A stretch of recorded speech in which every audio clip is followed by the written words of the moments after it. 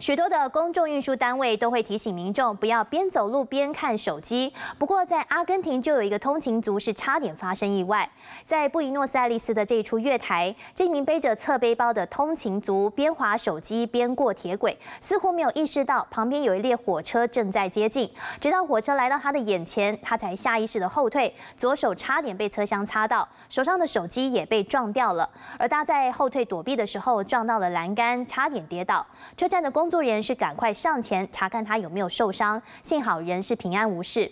而这惊险的一幕也被当成了宣导交通安全的教材，提醒用路人一定要眼观四面，耳听八方。Hello，我是林仙怡，想要抢先掌握最及时的新闻资讯吗？赶快订阅、按赞、开启小铃铛，锁定华视新闻 YouTube 频道。